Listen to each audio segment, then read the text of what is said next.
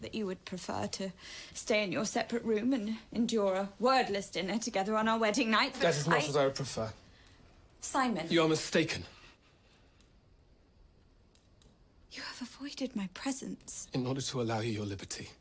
You've Said all but a few words to me. In order to keep myself from saying the wrong things. You've barely been able to look me in the eye. Because I could not bear witness to the misery I have caused you.